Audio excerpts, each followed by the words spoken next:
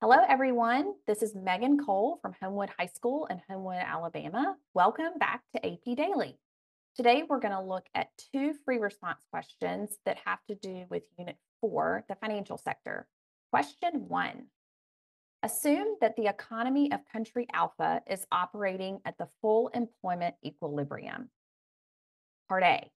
Using a correctly labeled graph of aggregate demand, short run aggregate supply, and long run aggregate supply, show the equilibrium, labeling the equilibrium price level as PL1 and the equilibrium output as Y1. Before we draw the graph, let's go back to the prompt. We're told that the country of alpha is operating at the full employment equilibrium. So another way of saying this is that its current output is equal to its potential output. So here is our aggregate supply and demand graph. And we've got PL1 and Y1 at the intersection of short run aggregate supply and aggregate demand. Our y-axis is labeled price level and the x-axis is labeled real GDP. And then I'm showing a vertical long run aggregate supply curve at Y1 because remember that current output Y1 needs to be equal to potential output which is at the long run aggregate supply curve. So all three curves intersect on my aggregate supply and demand graph. Part B. Now assume the economy of country beta, a major trading partner of alpha, enters a recession. On your graph from part A, show the effect of country beta's recession on each of the following in country alpha in the short run. Aggregate demand and explain. All right, we're told that country beta, who trades with alpha, so they buy goods and services from each other, goes into a recession. What does this mean? Well, this means that the people in beta, high unemployment rate, GDP is down, not a lot of spending money, national income has fallen. So people in beta will buy fewer goods and services from country alpha. So, in terms of aggregate demand, what we're looking at of the components of aggregate demand is we're looking at net exports. So, net exports fall because beta is buying fewer exports from alpha due to their recession. So, let's go ahead and draw that on the aggregate supply and demand graph. So, we want to show aggregate demand shifting to the left, AD1 to AD2. And then for our explain, Let's say that aggregate demand in alpha decreases because the recession in beta decreases the demand for alpha's products and alpha's export to beta will fall. The second part of B is to show what will happen to real output and price level labeled as Y2 and PL2. So for output, that's going to be on our x axis, price level will be on the y axis, so we're going to show that output falls from Y1 to Y2 on the x-axis and price level falls from PL1 to PL2 on the y-axis. Part C. The central bank of alpha wishes to offset the effect of beta's recession on alpha's real output. Assume the banking system in alpha has ample reserves. What monetary policy action should the central bank of alpha take? All right, so the central bank in alpha wants to counter the effects of beta's recession on alpha's output. Remember on the graph, we showed alpha's output falling from Y1 to Y2. So the central bank of alpha wants to increase output back to Y1. So we're asked about a monetary policy action that the central bank of alpha should take. We are told that the banking system in alpha has ample reserves. This is important because this tells you which monetary policy tools Alpha can take that will be effective. So let's first talk about what general goal the central bank has. The central bank in Alpha wants to increase output. How can they do that? They need to conduct expansionary monetary policy. This will lower interest rates. The goal, remember, is to increase aggregate demand. So if interest rates fall, then any interest sensitive spending, such as consumption or investment, will increase. This will increase aggregate demand, which will increase output. But this isn't enough. We are asked about an action the central bank of Alpha can take. In an ample reserve system, your choices are to increase administered interest rates or decrease administered interest rates. So, because the central bank wants to conduct expansionary policy, in an ample reserve framework, the central bank should lower administered interest rates. This will lower market interest rates and then increase aggregate demand. Part D draw a correctly labeled graph of the reserve market for alpha and show the effect of the monetary policy action you identified in Part C on the policy rate in the short run. So let's draw our reserve market and then recall in Part C what action was taken. So let's start with the reserve market.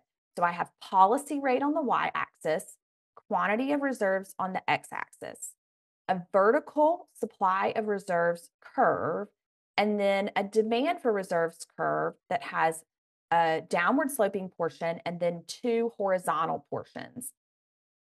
Remember that when you draw the reserve market in an ample reserve system, the supply curve needs to intersect the demand curve on the lower horizontal portion or the lower, lower horizontal bound. All right, recall from part C that we said the central bank should decrease administered interest rates. So let's show this on our graph. Both administered interest rates need to fall. This is on the two bounds. So we see the upper bound falling, that's the discount rate, and then the lower bound also moving down, that is the interest on reserve balances rate. Both bounds move down, and this will decrease the equilibrium policy rate. And we need to show that on the y axis. And we see that as PR1 to PR2. Question two A drop in credit card fees causes people to use credit cards more often for transactions and demand less money. Part A Using a correctly labeled graph of the money market, show how the nominal interest rate will be affected. So let's start with our money market graph.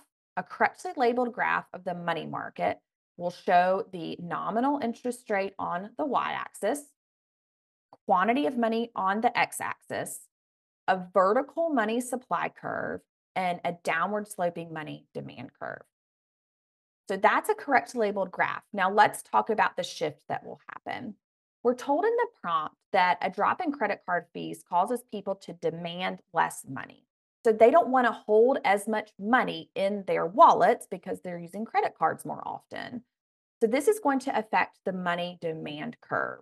So because people demand less money, money demand will shift to the left, and we are going to show this with shifting MD, money demand, to money demand one.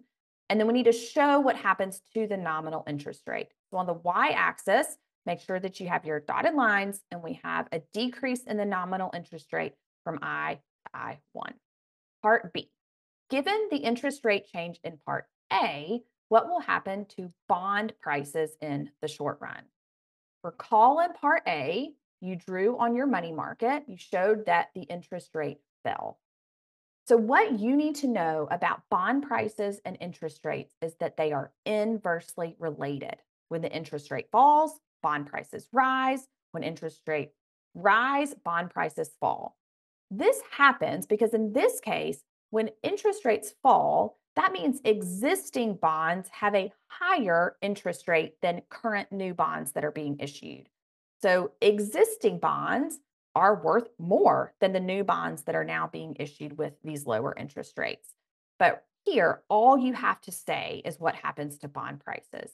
Interest rates fall since there's an inverse relationship that means bond prices will increase.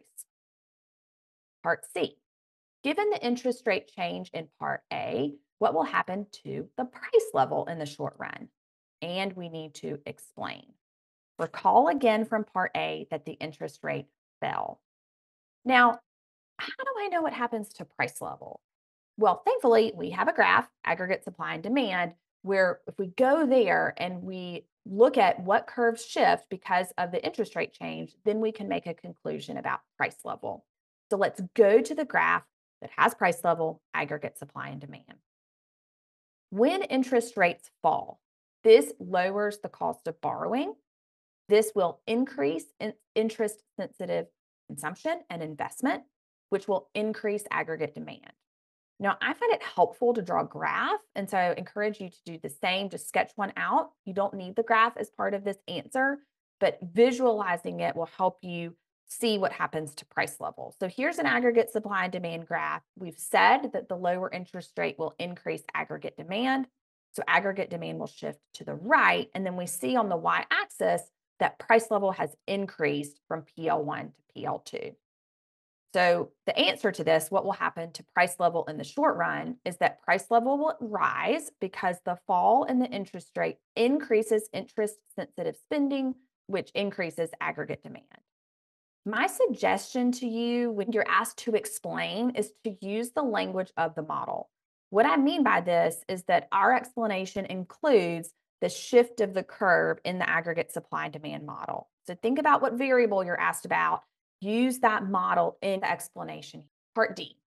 Assume the country's banking system has limited reserves. Identify an open market operation the central bank could use to keep the nominal interest rate constant at the level that existed before the drop in credit card fees. Explain. So we're told that the banking system has limited reserves. Again, this is important because this tells us what monetary policy tools are available to this central bank. Now, what we're told is that the central bank wants to keep the interest rate constant. And remember that the interest rate fell so, what does this mean? The central bank wants to increase the interest rate back to where it was, and we are asked to explain. So, in part A, the interest rate fell. Now, we need to identify an open market operation. Open market operations is when the central bank buys or sells bonds. This will change the money supply, which will change interest rates. So we just have a choice. You need to, to decide should the central bank buy or sell. I'm going to pull up the original money market that you drew at the beginning of this question because I think it's helpful to visualize what's happening to the interest rate. Here was the in initial shift left, and we see the interest rate fell. We need to get the interest rate back up. The way to do this is that the central bank can sell bonds. Selling bonds will give commercial banks bonds and remove excess reserves from the banking system. This will decrease the money supply. So you see the money supply curve shifting to the left, and this will raise the interest rate back up to where it was. So the answer here is that the central bank should sell bonds to decrease the money supply and raise the interest rate back up to the original level. Thank you very much. See you next time.